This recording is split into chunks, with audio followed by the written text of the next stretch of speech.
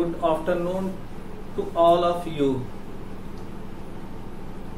इस लेक्चर में हम लोग जानेंगे कि कैसे लीवर के अंदर ब्लड सप्लाई होती है। ठीक है? अगर हम लोग एक बार ये समझ जाएँगे कि लीवर में कैसे ब्लड सप्लाई होती है तो हम आसानी से लीवर के फ़ंक्शन के बारे में जान जाएँगे। ठीक है ना? ठीक है? अच्छा एक चीज़ आप लोग हम ये बता दें, लीवर एक ऐसा ऑर्गन है जहाँ दो किस्म का या दो प्रकार का ब्लड जाता है। लोअर दो किस्म का या दो प्रकार का ब्लड को रिसीव करता है। ठीक है? एक ऑक्सीजनेटेड ब्लड रिसीव करता है लीवर, दूसरा क्या? डीऑक्सीजनेटेड ब्लड लीवर रिसीव करता है। ये, ठीक है? ये पोर्टल सिस्टम इसको पोर्टल सिस्टम बोलते हैं। ठीक है? तो वो दो जगह पे होता है। एक यहाँ जीआईटी हम लोग देख रहे हैं वहाँ पे और दूसरा ब्रेन में होता है। ठीक है ना? तो ठीक हम लोग डिस्कस करते हैं कि कैसे लीवर ब्लड को रिसीव करता है। तो सबसे पहले हम लोग बात करते हैं कि कैसे लीवर ऑक्सीजनेटेड ब्लड को रिसीव करता है। हम लोग पहले ऑक्सीजनेटेड ब्लड को देख लेंगे, फिर उसके बाद नेक्स्ट स्टेप में हम लोग डिस्कस करेंगे कि लीवर कैसे डीऑक्सीजनेटेड ब्लड रिसीव करता है। तो इस, अभी हम लोग डिस्कस करने जा रहे हैं कि कैसे लीवर ऑक्सीजनेटेड ब्लड रिसीव करता है। ठीक है? ये जो, ये हम लोग देख रहे हैं, ये क्या है? ये जो दिख रहा है, ये क्या है? ये हार्ट के चैम्बर होते हैं हैं। हार्ट में कितने चैम्बर होते हैं? फोर चैम्बर होते हैं ठीक है? देखिए right atrium right ventricle left atrium left ventricle ठीक है? These are four chamber which is present in the human heart ये चार चैम्बर होते हैं जो जिस, जिससे ब्लड पूरे ये, ये चार चैम्बर होते हैं ठीक है? ये कहाँ पे होते हैं? ह्यूमन हार्ट में होते हैं। ठीक है? अब हम देखते हैं ये लेफ़्ट वेंट्रिकल लेफ़्ट वेंट्रिकल में हमेशा ऑक्सीजनेटेड ब्लड होगा। ठीक है ना? ये क्यों ऑक्सीजनेटेड ब्लड होगा? इसको हम जब आप लोगों को सर्कुलेटरी सिस्टम पढ़ाएँगे, तब डिस्कस करेंगे। अभी के लिए हम लोग इतना जान जाते हैं कि लेफ़्ट वेंट्रिकल में जो भी ब्लड होगा ऑक्सीजनेटेड होगा। ठीक है? हम लोग देख रहे हैं लेफ़्ट वेंट्रिकल से एक आर्टरी निकलती है ये वाली। उसको बोलेंगे एओर्टा। क्या बोलेंगे? Aorta. Aorta is the largest artery ठीक है ना? सबसे बड़ी आर्टरी एओर्टा होती है। तो एओर्टा कहाँ से निकलती है? लेफ़्ट वेंट्रिकल से। ठीक है? तो लेफ़्ट वेंट्रिकल में कौन सा ब्लड होता है? ऑक्सीजनेटेड होता है। ठीक है? अब हम लोग देख रहे हैं, ये ऑक्सीजनेटेड ब्लड है लेफ़्ट वेंटिकल में, वो कहाँ पे चला जाएगा? एओटा एओटा ऑक्सीजनेटेड ब्लड ले करके ले करके इस तरीके से जा रही है, ठीक है? ऑक्सीजनेटेड ब्लड एओटा लेकर आ रही है, ठीक है? ये ऑक्सीजनेटेड ब्लड इस तरीके से एओटा के थ्रू नीचे जाते जाते यहाँ पहुँचा। यहाँ जैसे ही पहुँचा, अब हम लोग देख रहे हैं एओटा यहाँ से अपनी एक ब्रांच बनाती है। ये एओटा क्या बनाती है? अपनी एक ब्रांच बनाती है। ये चली जाती है। इस ब्रांच को क्या बोलेंगे? हेपेटिक आर्टरी क्या बोलेंगे? हेपेटिक आर्टरी अब जो ये ऑक्सीजनेटेड ब्लड एओटा लेकर आ रही है, ये कहाँ पे जाएगा? ये कहाँ पे जाएगा? हेपेटिक आर्टरी में गया। ये हेपेटिक आर्टरी में गया हेपेटिक आर्टरी में पहुँचा। यहाँ जैसे ही पहुँची हेपेटिक आर्टरी वहाँ पे यहाँ से देखिए, यहाँ से हमारा लीवर शुरू हो गया। ये देख रहे हैं, ये डायग्राम ये लीवर है। ये क्या है? ये लीवर है। ये देख रहे हैं, ये डायग्राम कंप्लीट डायग्राम क्या है? लीवर है। तो हम देखें, जैसे ही लीवर के पास हेपेटिक आर्टरी पहुँची तो हेपेटिक आर्टरी आर्टरी अपने ब्रांच में डिवाइड हो जाएगी। ठीक है ना? अब देखिए हेपेटिक आर्टरी अपने ब्रांच में ये डिवाइड होके क्या बनाई? ब्रांच ऑफ़ हेपेटिक आर्टेरियोल इसको हम कह सकते हैं, यहाँ से यहाँ तक देख रहे हैं। हम क्या कह सकते हैं? ब्रांच ऑफ़ हेपेटिक आर्टेरियोल ठीक है? तो हम कह सकते हैं कि अब जो है हेपेटिक आर्टरी से ऑक्सीजनेटेड ब्लड कहाँ पहुँचा? अब देखिए ब्रांच ऑफ़ हेपेटिक आर्टरी ठीक है? ब्रांच ऑफ़ हेपेटिक आर्टरी में पहुँचा। क्या पहुँचा? क्या पहुँचा ऑक्सीजनेटेड ब्लड पहुँचा कहा? Branch of hepatic artery. यहाँ पे ब्रांच ऑफ़ हेपेटिक आर्टरी में पहुँच गया। अब यही रुक जाइए। एक ही हम समझा देते हैं, जैसा कि हम लोग, हमने आप लोगों को पहले ही बता दिया, ये देखिए लीवर है। ये क्या है? लीवर है। हमने बताया लीवर में दो लोब होते हैं। एक राइट लोब हो गया, एक लेफ़्ट लोब हो गया, ठीक है? हमने बोला कि लोब कुछ नहीं। लोब किसके बने होते हैं? Lobule. Thousand of lobule present होते हैं। तो हम देख रहे हैं, हर लोब लोब में क्या? लोबुल है कि नहीं? लोबुल है। ठीक है? ब्लड को कौन रिसीव करता है? कौन लेता है? लोबूल लेता है। क्यों लेता है? Lobule is the structural and functional unit of the liver liver की स्ट्रक्चरल फ़ंक्शन यूनिट कौन होती है? लोबूल। लोबूल ही सब फ़ंक्शन करवाता है। ठीक है ना?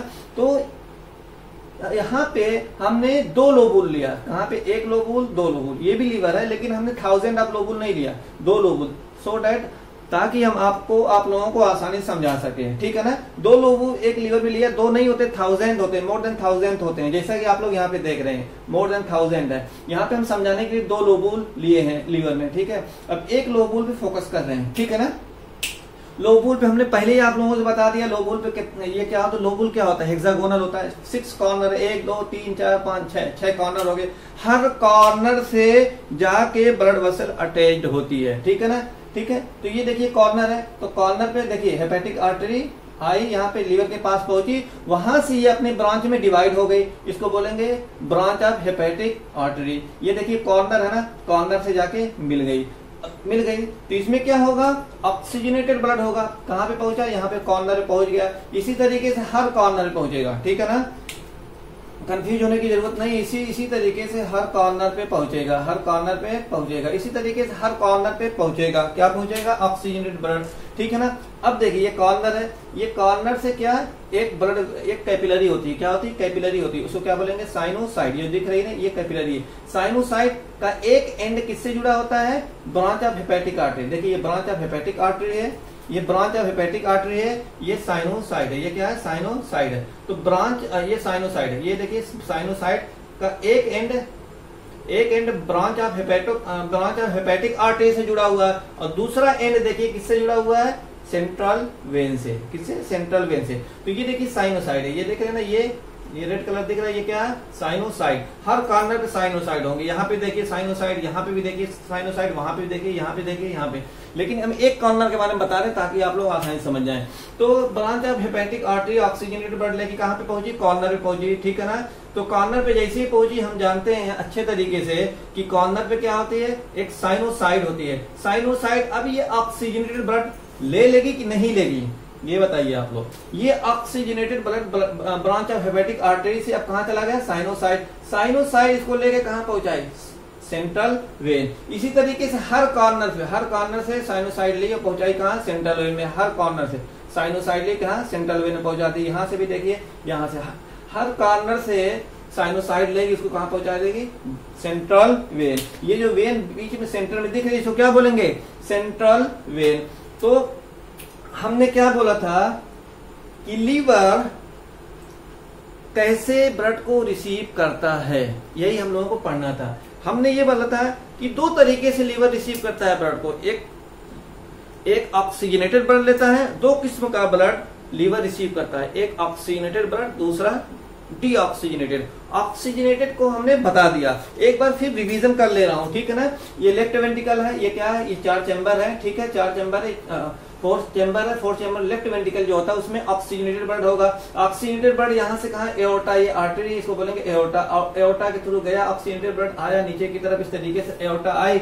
आई यहाँ से एओटा एक अपनी ब्रांच बनाई ये ब्रांच यहाँ से लेके यहाँ तक देख रहे हैं ब्रांच है उसको बोलेंगे हेपेटिक आर्टरी। तो ये हेपेटिक आर्टरी में अब ऑक्सीजनेटेड ब्लड पहुँच गया। फिर जैसे ही लीवर के पास पहुँचे देखिए लीवर यहाँ से शुरू हो गया देख रहे हैं यहाँ से शुरू हुई ये देखिए लीवर ग्राम जैसे ही लीवर के पास पहुँची ये हेपेटिक आर्टरी अपने ब्रांच में डिवाइड हो गई। ये अपने ब्रांच में डिवाइड होकर क्या बनाएँगे? Branch of hepatic artery. Branch of hepatic artery जैसे ही कॉर्नर में पहुँचे लोगुल के हर कॉर्नर में पहुंचेगी वो वो, वो किससे अटैच हो जाएगी? साइनोसाइड ये हम लोग दिख रहे हैं ये जो रेड कलर जो दिख रही है, क्या? साइनोसाइड है। साइनोसाइड ये क्या है? लोबूल की कैपिलरी है। ठीक है ना? इसको बोलेंगे साइनोसाइड तो ये साइनोसाइड किससे अटैच होती है? ब्रांच ऑफ़ हेपेटिक आर्टरी तो ब्रांच ऑफ़ हेपेटिक आर्टरी से ऑक्सीजनेटेड ब्लड कौन लेगी? साइनोसाइड साइनोसाइड ले जाके कहाँ पे पहुँचा जाएगी सेंट्रल वेन ठीक है? हम ऑक्सीजनेटेड देख लिए। Now we are going to discuss how to the liver receive the deoxygenated blood okay from the different part of the body अब हम लोग डिस्कस करने जा रहे हैं, कैसे लीवर डीऑक्सीजनेटेड ब्लड रिसीव करता है बॉडी के अलग अलग पार्ट से। ठीक है ना? ओके शुरू करते हैं कि कैसे ब्लड डीऑक्सीजनेटेड ब्लड लेता है। ठीक है ना? अब देखिए। देखिए देखिए, ये, क्या बोलते हैं? ये एओटा में हम जानते हैं कि ऑक्सीजनेटेड ब्लड होगा ना, ये तो हम पहले बता चुके हैं ऑक्सीजनेटेड ब्लड होगा, यहाँ पे आया। ठीक है ना? ठीक है? ये एओटा देखिए। एओटा एओटा अब देखिए, फिर नीचे की तरफ़ जाएगी। देखिए, नीचे की तरफ़ जा रही है यहाँ से ब्रांच निकल गई, वो आगे चलेगी। अब यहाँ देखिए, फिर नीचे की तरफ़ एओटा गई। ठीक है ना? एओटा में हमेशा जान लो, आर्टरी में हमेशा ऑक्सीजनेटेड ब्लड होता है, जबकि वेन में हमेशा क्या होता है? डीऑक्सीजनेटेड ब्लड होता है। सिर्फ़ एक एक्सेप्शन ओनली एक एक्सेप्शन कहा? हार्ट में। ठीक है ना?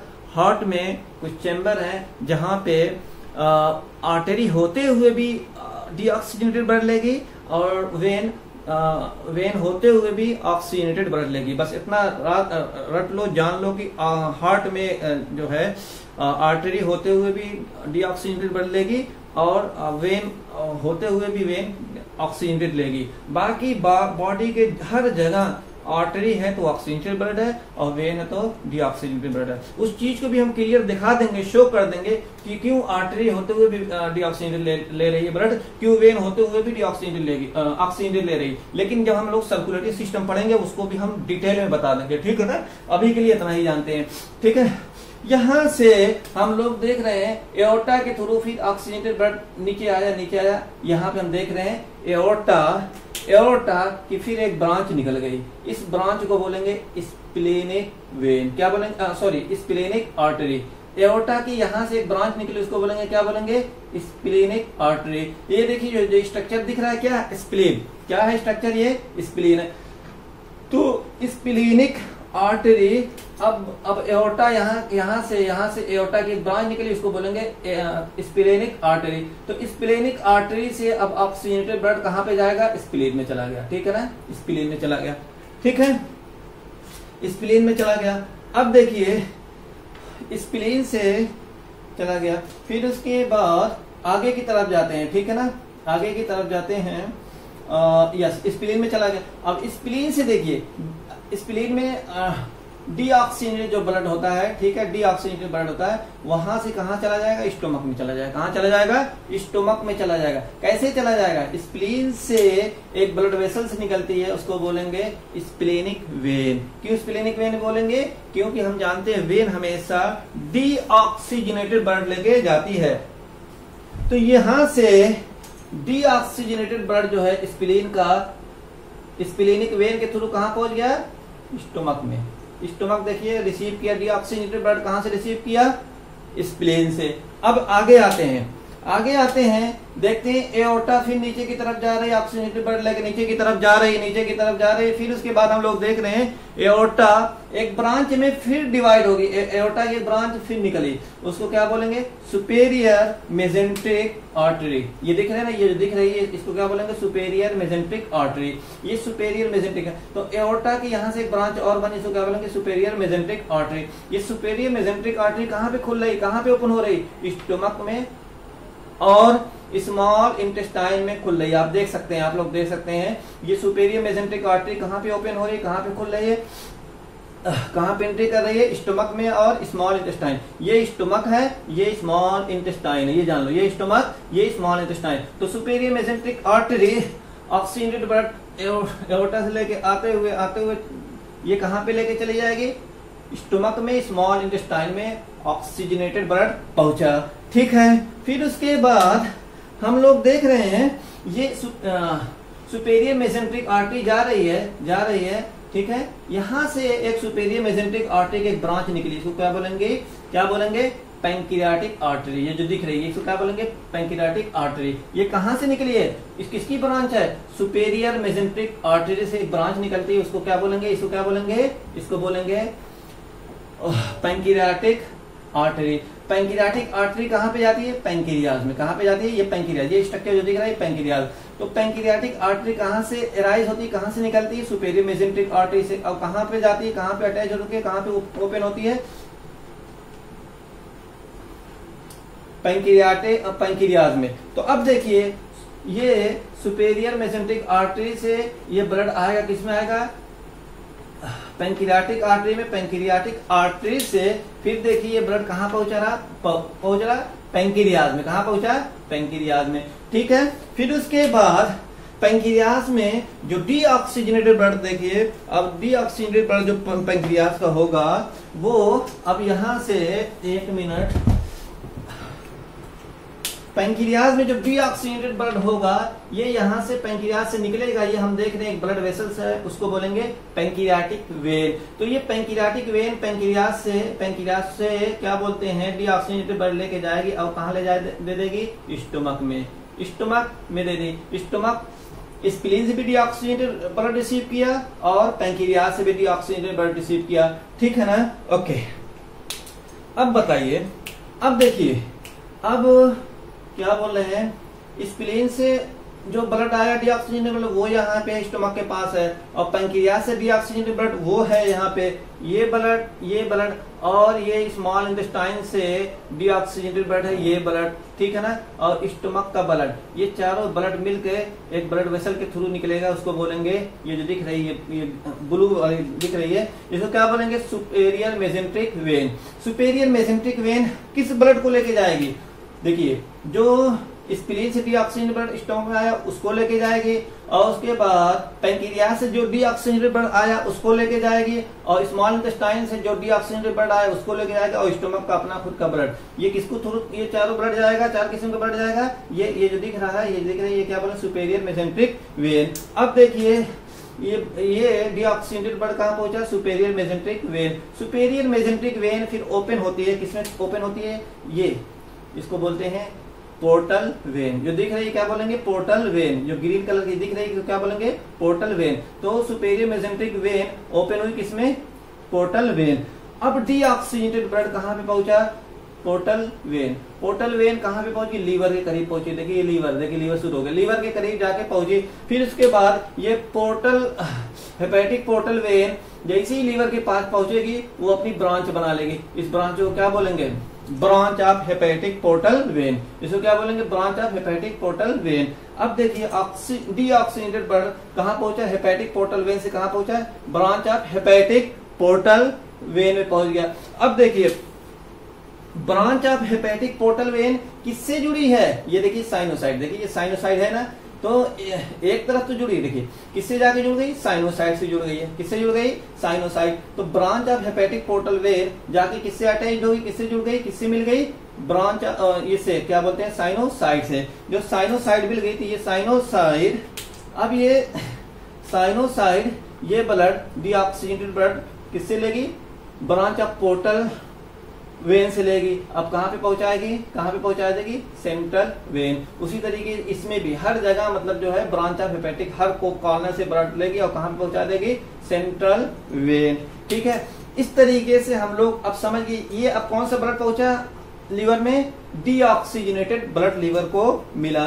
जबकि मैंने आप लोगों से, आप लोगों से बताया था, यही चीज़ बताया ना कि कैसे लीवर में ब्लड जाता है या लीवर ब्लड कैसे रिसीव कर, करता है कैसे लेता है? दो रास्ता दो तरीका बताया था कि जिसके थ्रू दो रास्ते हैं जो तरीके से लीवर ब्लड लेता है। एक ऑक्सीनेटेड एक डी ऑक्सीनेटेड तो ये दोनों दोनों मेथड दोनों वे हो गए। Thank you so much